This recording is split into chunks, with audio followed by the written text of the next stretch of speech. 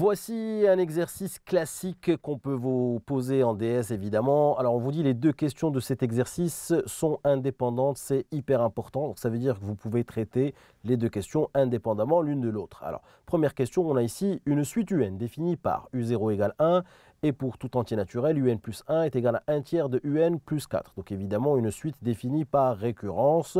Chaque terme dépend du terme précédent. On pose pour euh, tout nombre entier naturel n, Vn cette fois-ci égale à un-6. Donc une suite auxiliaire, ça veut dire que Vn dépend de cette suite un qui elle-même est définie par récurrence. Pour tout nombre entier naturel n, calculez Vn plus 1 en fonction de Vn.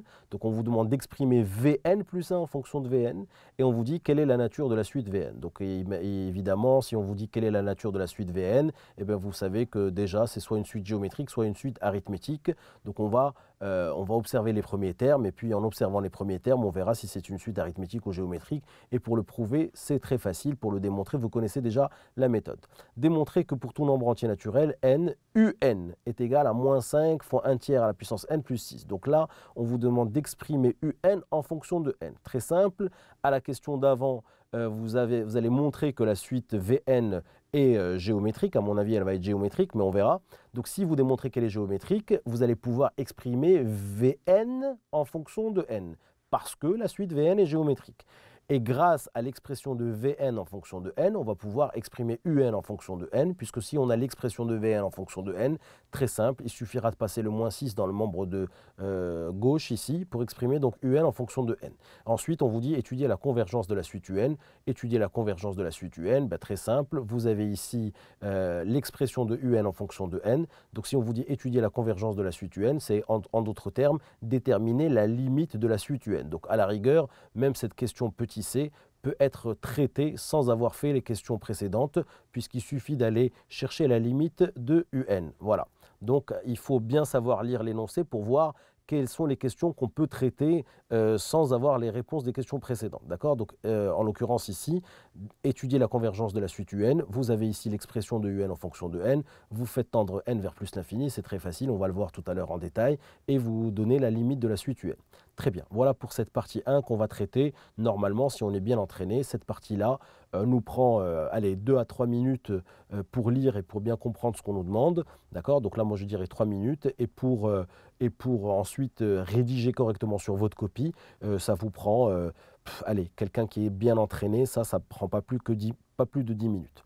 Voilà pour cette première partie. Allez, on regarde ici la deuxième partie. On vous rappelle que les deux parties de cet exercice sont indépendantes. On considère la suite WN, dont les termes vérifient pour tout entier euh, n supérieur ou égal à 1. Donc cette suite WN, elle est définie à partir du rang 1.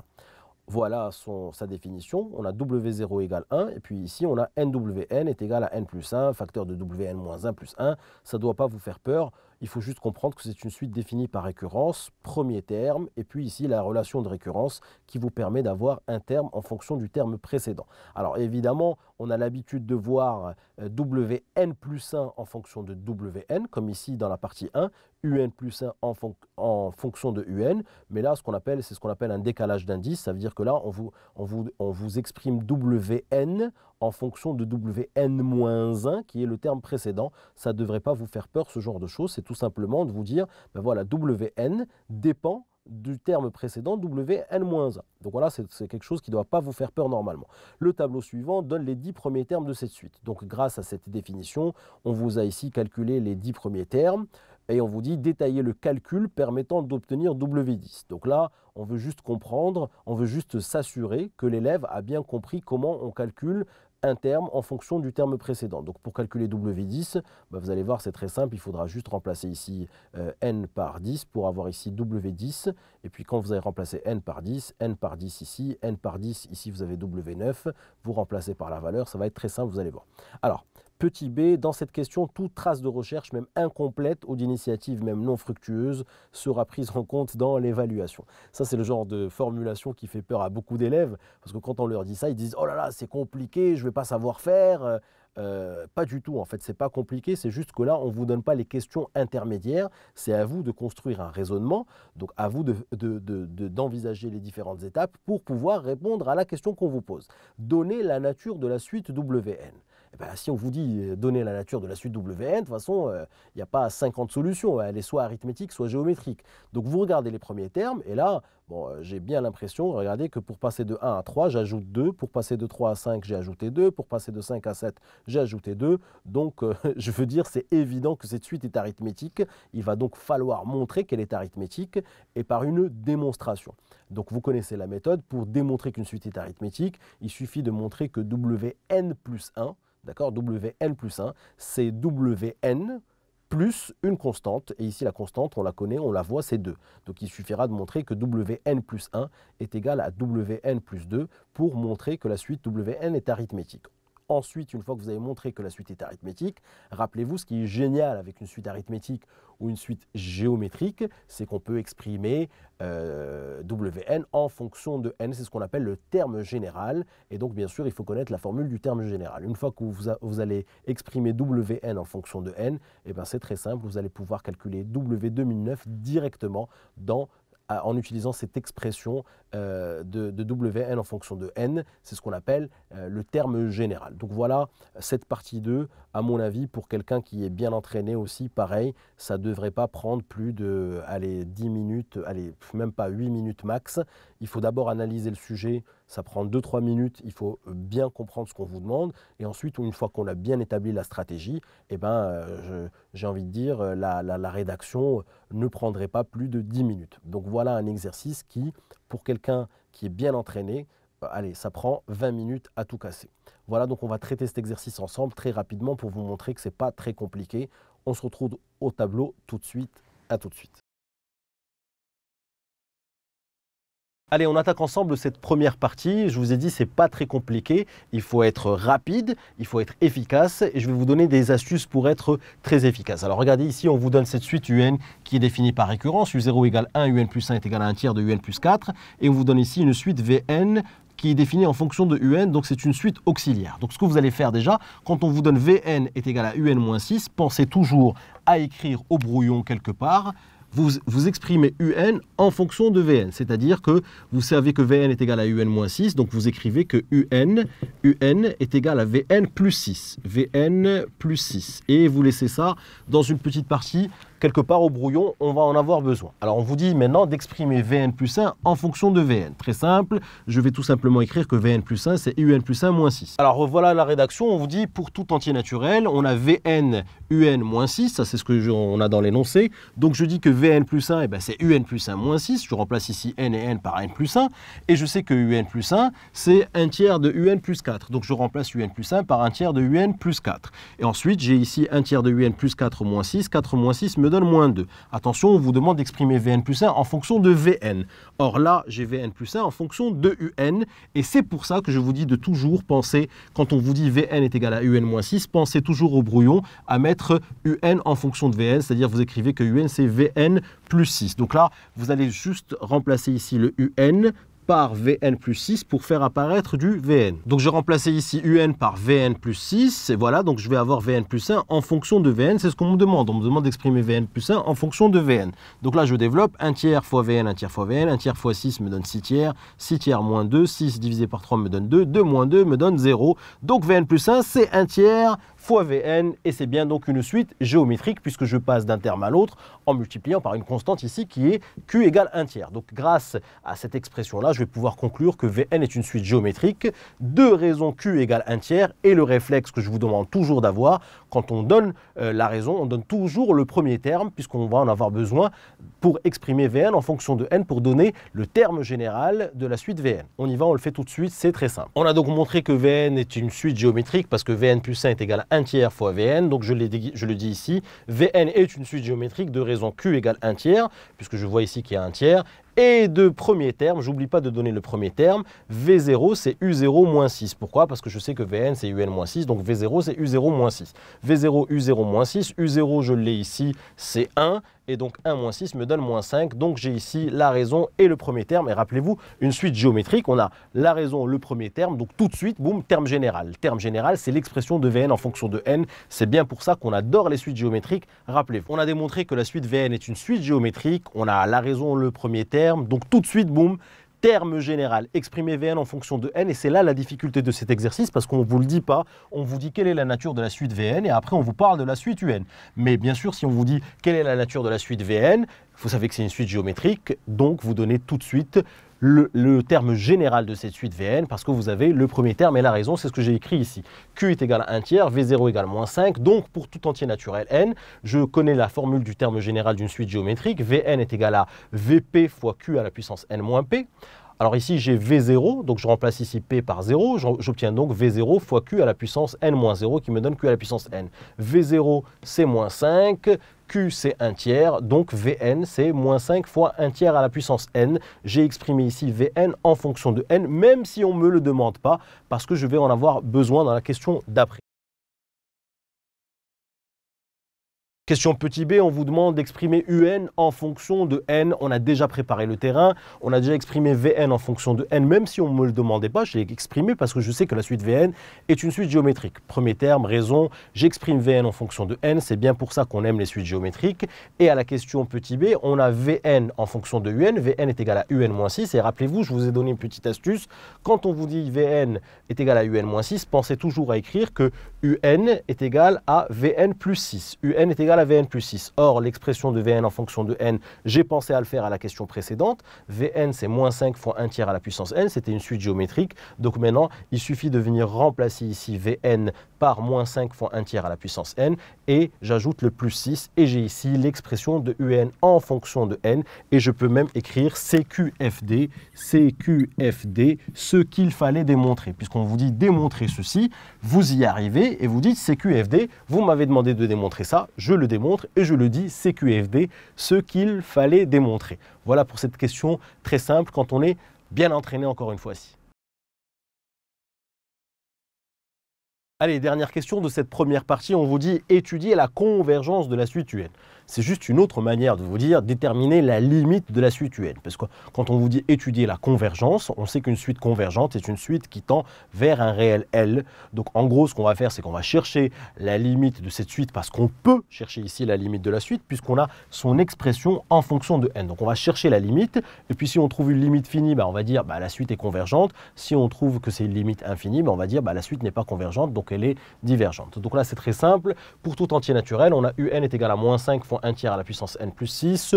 Facile, vous voyez ici qu'il y a un q à la puissance n, donc on pense au théorème sur les limites de suite géométrique. Si q est compris entre moins 1 et 1, rappelez-vous, la limite de q à la puissance n est égale à 0. Si q est strictement supérieur à 1, la limite de q à la puissance n est égale à plus l'infini. Si q est strictement inférieur à moins 1, la limite de q à la puissance n il euh, n'y a, pas de limite. D'accord? Donc tout ceci, vous, vous êtes déjà euh, bien entraîné sur ce genre de choses. Donc là, c'est très simple. 1 tiers à la puissance n comme q, euh, c'est 1 tiers ici, c'est compris entre moins 1 et 1. Donc 1 tiers à la puissance n va tendre vers 0. Je multiplie par moins 5, ça continue à tendre vers 0. J'ajoute 6 ça tend vers 6, donc la limite de un, ici c'est bien 6, et comme c'est une limite finie, on va dire que la suite est convergente et que sa limite c'est 6, très facile à rédiger, on y va. voilà la rédaction, très simple, très classique, la limite de 1 tiers à la puissance n égale 0, je peux mettre entre parenthèses, limite de q à la puissance n égale 0, si q est compris entre moins 1 et 1, c'est un théorème, je peux le rappeler rapidement, ça me prend quelques secondes. Ensuite je dis limite euh, de moins 5 fois 1 tiers à la puissance n est égal à 0, puisque j'ai multiplié 1 tiers à la puissance n qui tend vers 0 par un nombre, donc ça continue à tendre vers 0. J'ajoute 6 ici, moins 5 fois 1 tiers à la puissance n plus 6.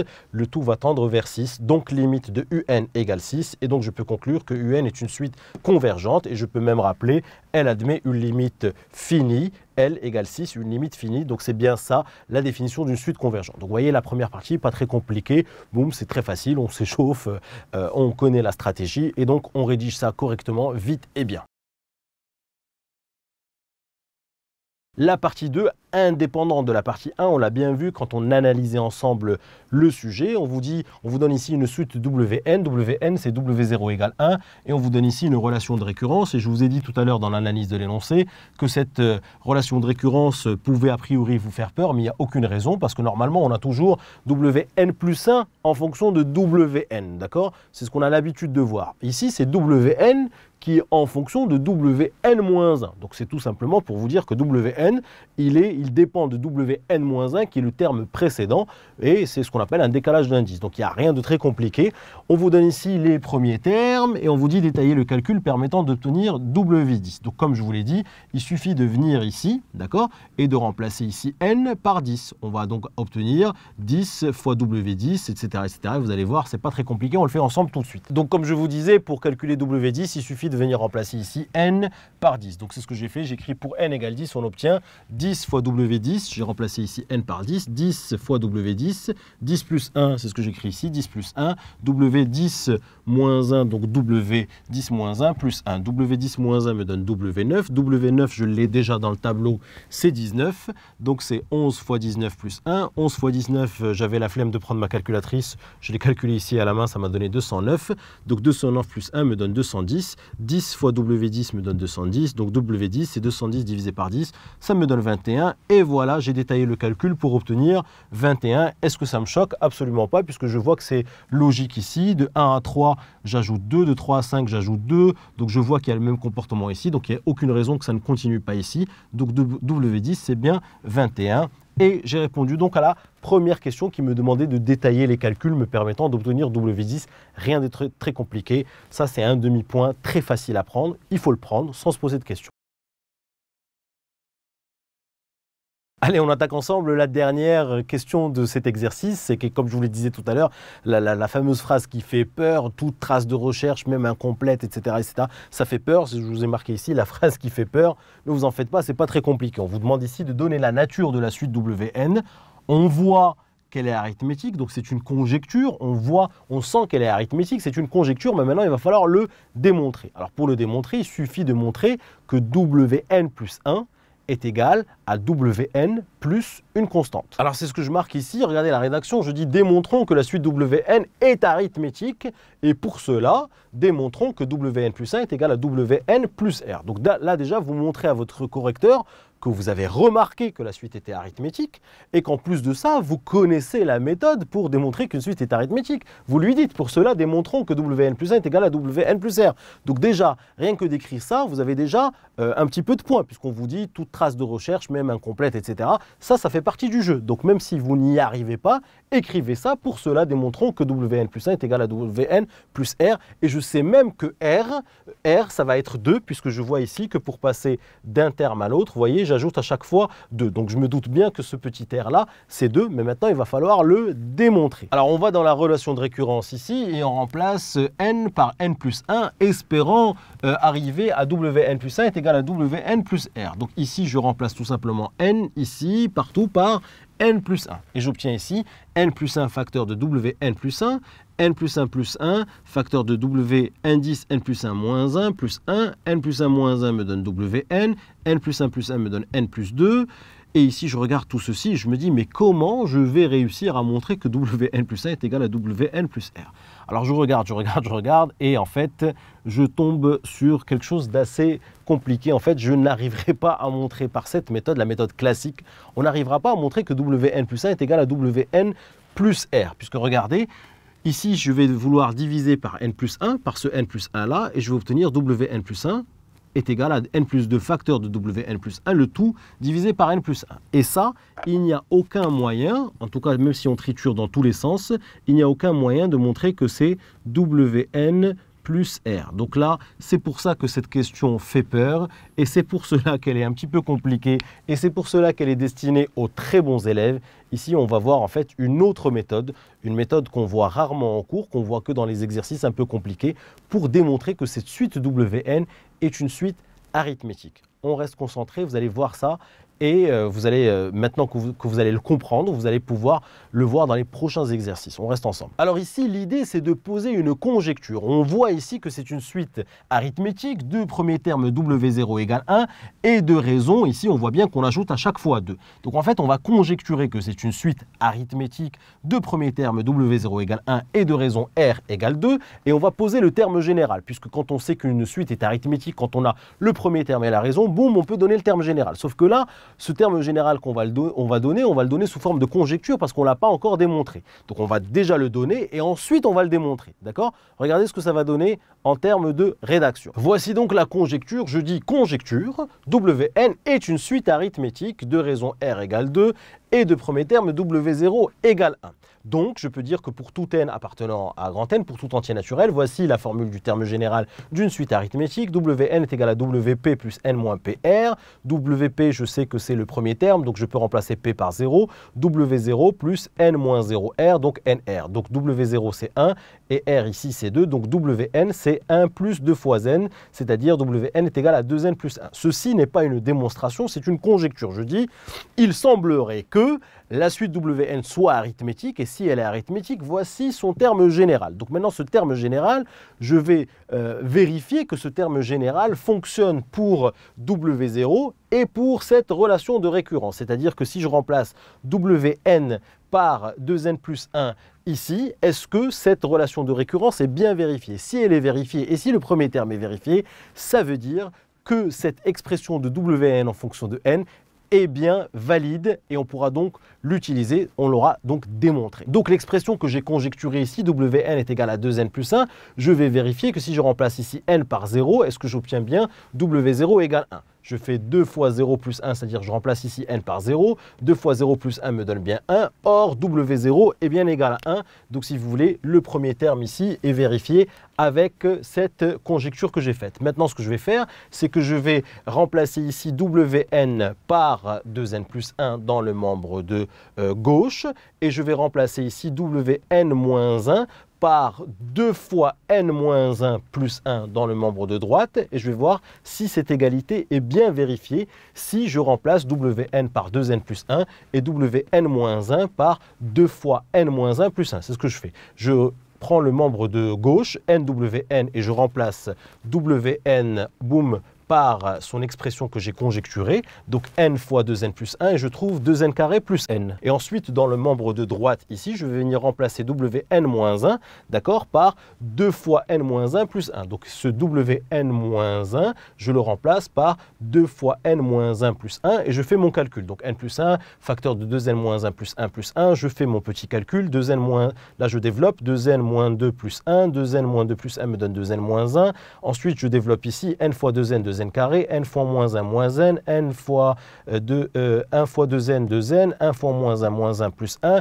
Je développe et je trouve bien 2n carré plus n. Donc ça veut dire que ce, ce membre de gauche là, est bien égal au membre de droite dans la relation de récurrence si je remplace Wn par 2n plus 1 et Wn moins 1 par 2 facteurs de n moins 1 plus 1. Donc j'obtiens bien ici la même chose. Donc je peux très bien dire, je viens de vérifier que nwn est bien égal à n plus 1 facteur de Wn moins 1 plus 1. Ça veut dire que cette relation de récurrence là est bien vérifiée si je remplace Wn par 2n plus 1. Ça veut dire que cette conjecture est bien vrai. Et maintenant, je vais pouvoir conclure que pour tout entier naturel, Wn, c'est bien 2n plus 1 et je viens de le démontrer. Alors ce qui est intéressant dans cette méthode, c'est que normalement, pour démontrer qu'une suite est arithmétique, on, exprime, on essaye de montrer que Wn plus 1 est égal à Wn plus une constante. C'est ce qu'on a essayé de faire tout à l'heure. D'accord? Mais vous avez vu que techniquement, on n'y est pas arrivé. Il y a, des simplifications qu'on ne pouvait pas faire et donc on ne pouvait pas montrer que Wn plus 1 était égal à Wn plus une constante.